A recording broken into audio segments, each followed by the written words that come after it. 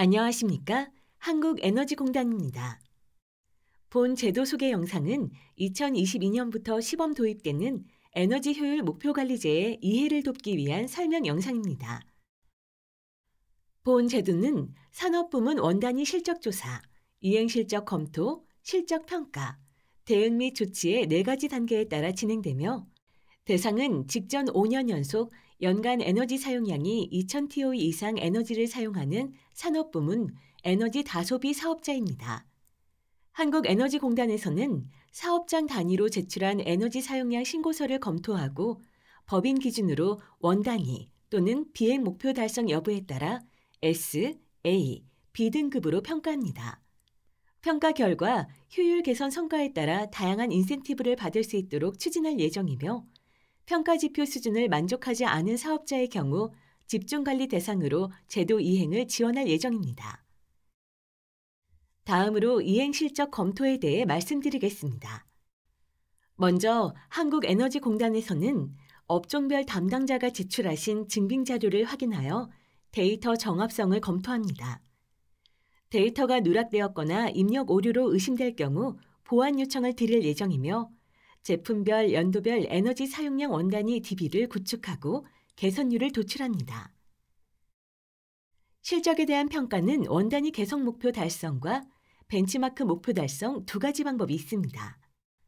첫 번째 기준인 원단위 개선율은 직전 5년간의 에너지 원단위 기하 평균 개선율을 활용하여 산정합니다. 5개년 원단위 개선율의 기하 평균 값이 최소 1% 이상일 경우 목표 달성으로 인정하며 초기 연도인 2022년의 경우에 하나여 직전 2개년간의 개선율을 활용하여 산정할 예정입니다. 또한 제품 및 사업장이 다수인 사업자의 에너지 원단위는 제품별 원단위 개선율에 사업장별 에너지 사용량 비중을 가중 평균하여 도출하게 됩니다. 두 번째 기준인 벤치마크 목표 달성은 지정된 업종과 제품을 생산하는 사업자에 한하여 벤치마크 수준 이상인 경우 목표 달성으로 인정하는 것을 의미합니다. 해당 제품의 자사 원단위가 벤치마크 수준보다 더 좋은 경우 목표 달성한 것으로 인정되며 이때 BM 대상 공정이 사업장 전체 에너지 사용량의 50% 이상 차지할 경우에만 적용하게 됩니다. 사업자 등급은 매년 평가를 통해 S, A, B 세 가지로 구분됩니다. 평가 지표 수준을 만족하는 사업자는 S등급을, 최근 2년간 원단위 개선율이 연속하여 악화되었거나 해당 연도 원단위 기하 평균 개선율이 5% 이상 악화된 사업자는 B등급을, 이 외에는 A등급으로 평가됩니다. 다음으로 벤치마크 대상 사업자의 등급 평가 기준을 자세히 말씀드리겠습니다.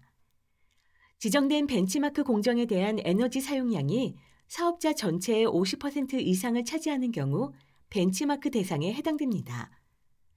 벤치마크 대상이 기준을 달성하면 S등급을 부여하고 있으며 벤치마크 공정을 보유하고 있지만 에너지 사용량이 50% 미만인 경우 벤치마크 대상으로 인정되지 않습니다. 벤치마크를 미달성했거나 대상이 아닌 사업자는 원단위 개선율을 평가하여 1% 이상인 경우 S등급을 받을 수 있습니다. 본 사업의 등급 평가를 위한 추진 절차를 다시 한번 간단히 정리해 드리겠습니다.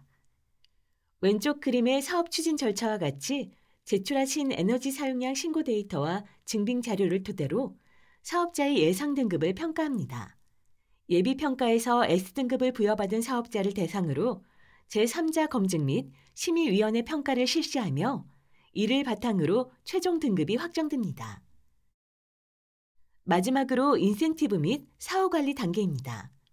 이행 실적에 대한 평가를 통해 인센티브 대상 사업자에게는 KESG 가이드라인 에너지 효율 부문 지표 활용, 융자나 세액공제 등 재정 지원, 유공자 포상 가점 등 인센티브 제공을 검토하고 있습니다. 이 외에도 추가적인 인센티브 발굴을 위해 관계기관과 적극 협의해 나갈 예정입니다. 또한 목표를 이행 중인 사업장이나 목표를 미달성한 사업자에게는 별도의 기술 지원단을 통해 사업자가 효율을 개선할 수 있도록 지원할 예정입니다. 지금까지 에너지 효율 목표 관리제에 대해 간략하게 소개드렸습니다. 보다 자세한 사항에 대하여 궁금하실 경우 한국에너지공단 산업기후실로 문의 부탁드립니다. 감사합니다.